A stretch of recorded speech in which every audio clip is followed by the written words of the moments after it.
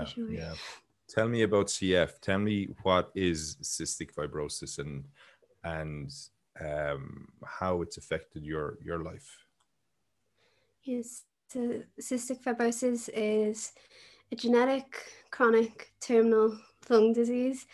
Um, so like genetic, you're born with it. Chronic, it gets worse with age. So as I get older and older, um, my health is constantly deteriorating. And then terminal, yeah, it ends in death. To be quite blunt there, but yeah, so it's something that I'm always going to have. Um, it primarily attacks your respiratory system, so your lungs and your digestive system as well. So, like a lot of people with CF would have a lot, there's like so many various other illnesses that you could have related to CF. So, for me, I have CF related liver disease. And then CF in itself attacks like the pancreas. So, um, people that know biology would know that um, you have like enzymes, which is like the chemicals in your body that break down food. For people with CF, our bodies don't produce them um, like to an extent that they should. So, you know, be re- reliant on artificial enzymes every time we eat. We have to calculate fat content and how many tablets you need to eat with that. Um, to make sure everything's digested. And then yeah lung wise then there's like a lot of treatments and stuff. So with cf um everybody has like mucus in their body. But with cf your mucus is like thick and sticky so that will clog up your airways as opposed to someone who doesn't have cf the mucus is like very watery. It can shift and move throughout the lungs with ease and you know like even yourself if you cough you wouldn't even notice mucus but it's constantly clearing out of your lungs right? That's just yeah. the human function. But with cf it because it's so thick it just gets clogged in your lungs and blocks your airways and slowly suffocates you so you constantly need to be clearing that on a daily basis doing like lots of different treatment plans that you, yeah you get put on a treatment plan kind of at a very young age that can constantly develop. So you know i'm constantly finding new treatments that would work better with me or i might need to do more because my cf is a lot worse than it would have been when i was like four. Um, and it's just constantly like every day i need to make sure that i'm getting this mucus out of my lungs so that i can breathe.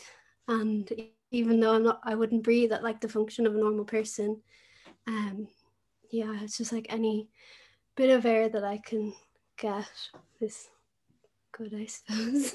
Yeah it's better yeah. than nothing. Absolutely. It's it's a fascinating um I, I suppose it's fascinating for me to learn about it because i think it's it's so important like everyday things that say um i or other people would take for granted your your your day is uh a lot different. Maybe could you talk me through kind of what what happens? I suppose, say a, a normal day for you. Yeah, so I usually wake up. Um, you know, uh, just before I get into this as well, like any treatment plans that I say, there's no two cases of CF that are the same.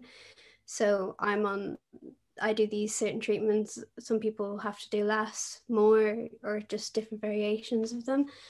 But for me, my day begins by I usually wake up and feel quite caught up from, you know, at night time when I'm asleep, your body like naturally re- relaxes and I kind of need to like boost my lungs being like, hello, wake up, yeah. breathe for me, please. so um yeah, my morning starts off straight away. I need to go down and start a physio session. So physio is like respiratory physiotherapy. That's um, you know physiotherapy on your lungs. So for me, I take an inhaler, then I'll do this neb, this like big noisy neb that thankfully I wake up later than the rest of my family and they don't have to hear this big machine going in the morning. But um yeah, I do that and it's a saline solution. So I'm just breathing that in and out and that like moisturizes the mucus in my lungs, so it'll be easier to like it loosens it and it's easier to cough up. Um, for me, I do my saline with this like it's like a neb chamber that has like a resistance on it as well. So as I breathe in and out, it's putting resistance on my lungs, which is making them work harder and shifting all the mucus as well. So I do that.